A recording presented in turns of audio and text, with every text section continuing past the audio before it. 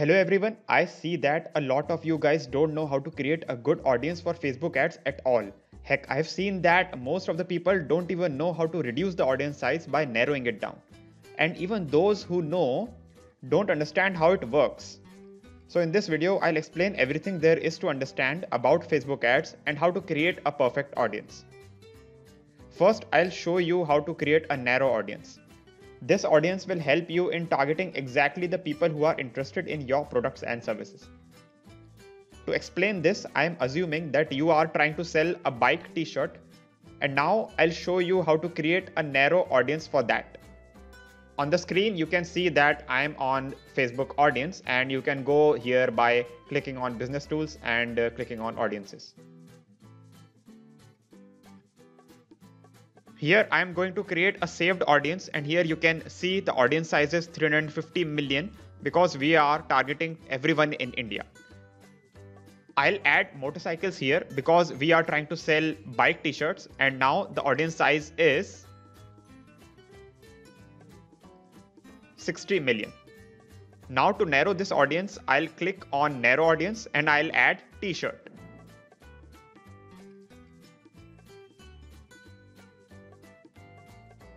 Now the audience size is reduced to 17 million. So we are targeting people who are interested in motorcycles and t-shirts both. I read this audience as people who are interested in bikes and t-shirts. Notice that I use the word and when reading a narrowed down audience. Now to understand, I'll remove everything and I'll just add t-shirts. So t-shirt audience is 33 million. Now I'll use Venn diagram to show you what we just did. I started with 350 million as the size of the audience. I'll call it India. Then I added motorcycles, which was 60 million. And then I saw the size of t-shirt, which was 33 million. Then I narrowed it down with an audience size of 17 million. You can see the same Venn diagram when you hover over the I button like this. While trying to narrow the audience, people sometimes add t-shirt with motorcycles and that is a big mistake. It actually increases the size of the audience. The size of the audience is now 76 million, which is huge. That is why it's called a broad audience. By doing this, we are actually trying to target people who are interested in either motorcycles or t-shirts. I read this audience as people who are interested in motorcycles or people who are interested in t-shirts. Notice that I use the word or while reading the broad audience. Here is how it looks in the Venn diagram. I can calculate the audience size by adding 60 million people plus 30 million people and subtracting the common people which is 17 million. That is equal to 76 million, which is exactly what we saw on Facebook. You can see the same Venn diagram by clicking on the I button here, like this. So that was all about the narrow audience and the broad audience. You can take this to an extreme by adding many interests at once to create either a very broad audience like this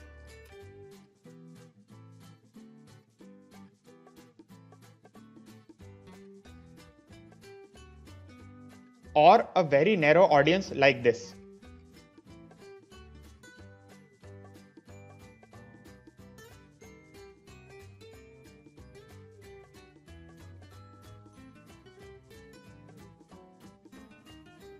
You can also increase the size of your narrow audience by adding more interest each side like this.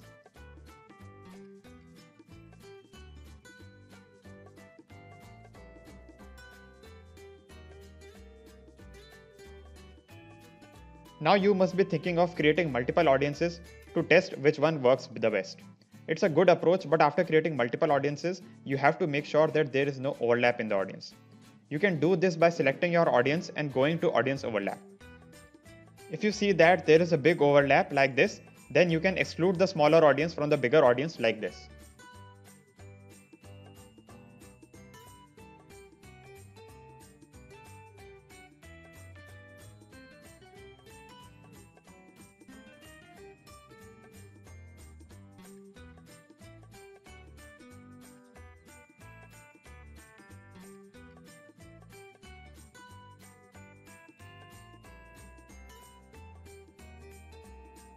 Now you will see that there is no overlap. Apart from this, you may face another problem while testing multiple audiences that are significantly different in size. This warning will pop up if you try to add unequal audiences in your ad set. It says audience size may affect budget distribution. Your audiences are significantly different in size. Ad sets are ad sets with the largest audiences are likely to receive the most budget. This issue is coming because you are trying to use campaign budget optimization that makes Facebook distribute your budget based on the best performing audience. But since your audience size is unequal, it will not work and your largest audience will get the most budget. To fix this issue, you have to narrow down or broaden your audience to bring them to same size. I have already shown you how to do that when talking about narrow and broad audiences. So that is how you create multiple audiences.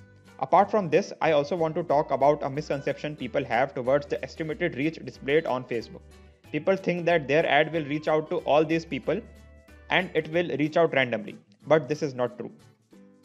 As you can see here, Facebook has given an example.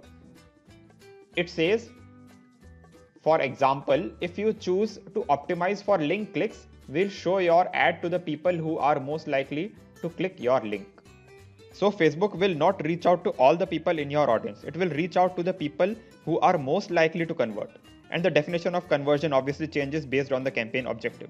For instance, page likes campaign will reach out to people in your audience who are most likely to like your page. At this point, I have covered everything there is about audiences, and I hope that now you can create a perfect audience for Facebook ads.